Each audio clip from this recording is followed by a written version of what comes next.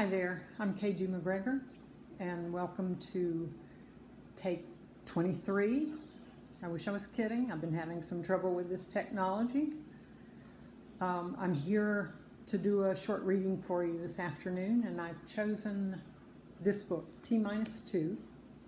This won the Goldie Award for romantic adventure um, a couple of years ago, but it wasn't one of my biggest sellers, and I think it has to do with this um, this space helmet on the cover. People looked at it and thought that's a sci-fi book, but it's actually not. It's it's a romance. It's fiction about science.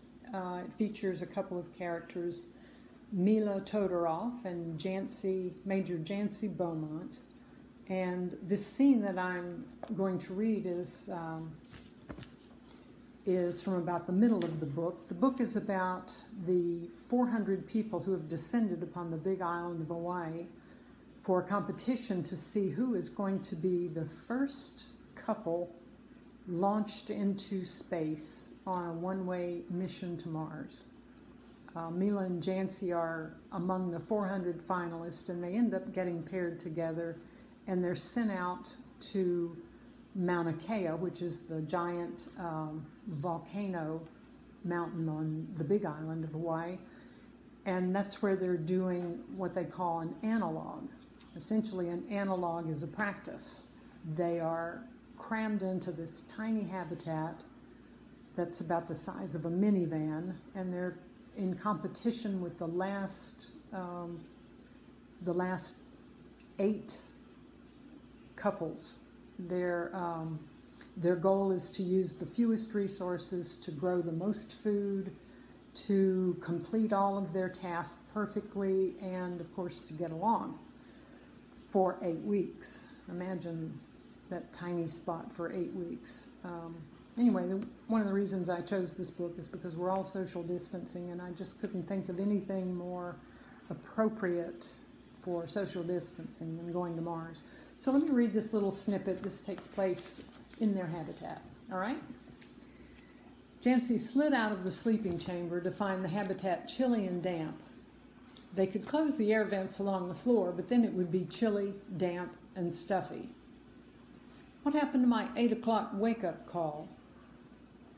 There was no point, Mila said. I caught up with everything except the walk around. So I heard. I bet we're the only ones with half our water supply left. Mila replied drawly, Well, because we're the only ones watering our food with filtered PP. Jancy playfully swatted her head with a rolled up t shirt. Two parts hydrogen, one part oxygen, it's all the same. Did you get your workout done? she asked as she peeled out of her thermals and into her shorts and t shirt. Did it all workout, bath, protein shake. Jancy stepped on the stair climber and began marching. Don't you ever take a day off? Mila asked. No. Not ever? No. And even if I did, I wouldn't tell you because then you'd want a day off too, and you can't have a day off. Not long ago, she'd have said that sharply, a stern warning to Mila not to slack off.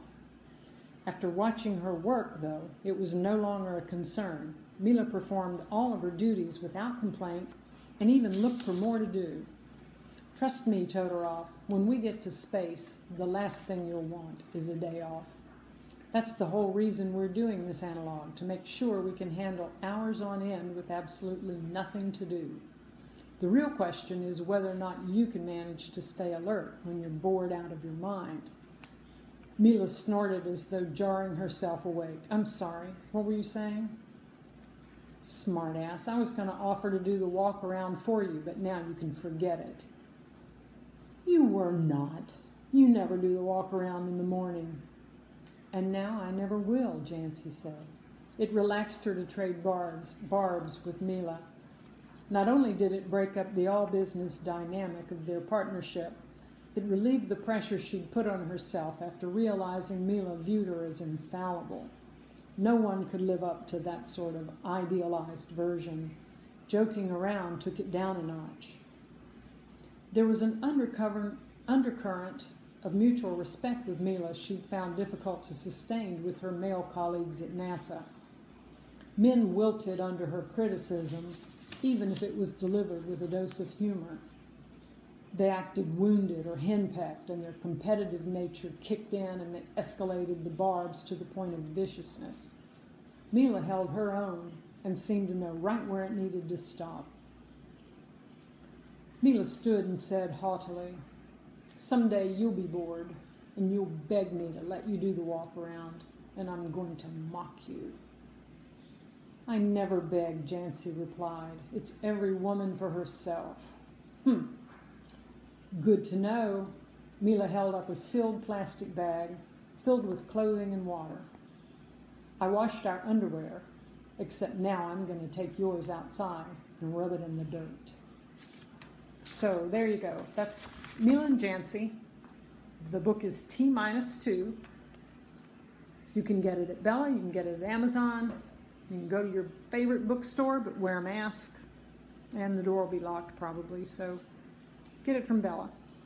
Thanks for joining me. And before I let you go, I want to say uh, I want to give a shout out to all of you who are essential workers. If you're out there um, taking care of us, a big thank you from the bottom of my heart. And for everyone else, if you're not out there, uh, thanks for staying home and not being part of their problem. We're all going to get through this together. Let's keep our community strong. Check out all the other videos out there available. Lots of authors are doing readings and, and chatting and, and interviews. So stay tuned, stay in touch on social media, and above all, stay healthy and take care of yourselves. Thanks for joining me. So long.